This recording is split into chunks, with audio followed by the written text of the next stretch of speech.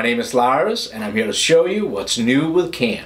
I know that I'm not the only one who was excited when the CAM development team added 5 axes to Fusion 360. You know, adding a couple of more axes to your CNC machine does make things a little bit more complicated. However, the toolpath selection within Fusion could not be much easier. Take for example a swarf cut. With the selection mode set to faces, I just have to select the angular face, hit OK, and we can start that spindle.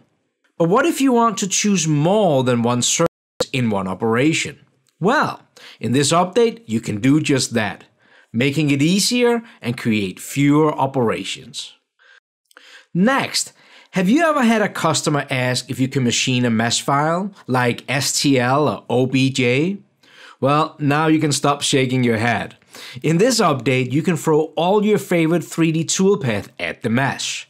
Finally letting me get working on this Batman model. Thanks to Mustang Dave for sharing this.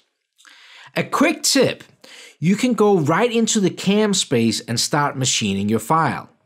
Just make sure you select the mesh as your model when doing your setup. Also, if you want to modify the file in the mesh workspace, you will get a warning if you have not turned the preview on. It is easy to do. Just click your name, select Preferences, and in the Preview section, check Mesh Workspace. Now you can not only machine your mesh file, but also delete, reduce, and smooth that model. Let's dial back to 2.5 axes. Here's something I think will make your day. Let me go and select a drilling operation, and I'm going to make sure that I check select same diameter. Now I only have to select one hole and let Fusion find the rest. In the past, our drill preview was blocked by the solid model.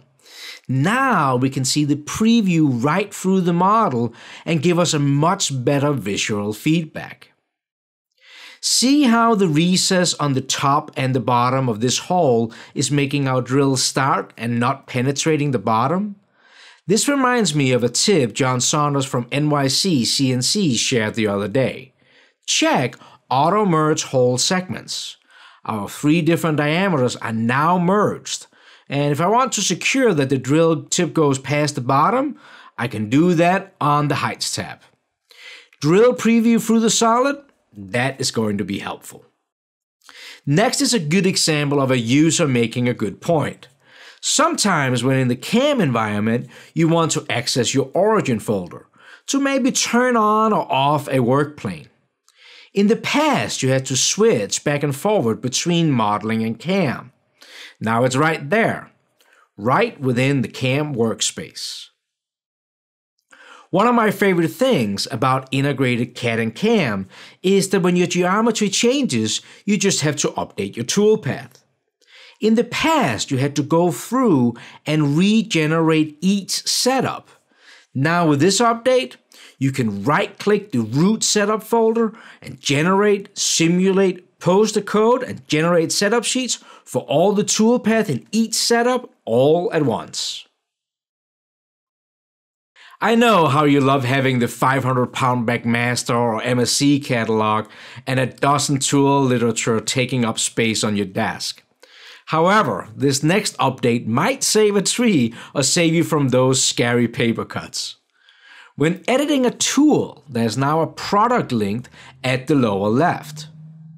You can now paste the specific vendor's link, and right from the tool library, you can go out and reorder your tools. I bet this should save some time down the road. Last cam update in this round should make many cam people happy. In this update, the cam developers did their thing and added the 3D Morph toolpath. Not much to say about this other than this toolpath is absolutely perfect for machining with a constant cutting direction between two contours. This should make things smooth.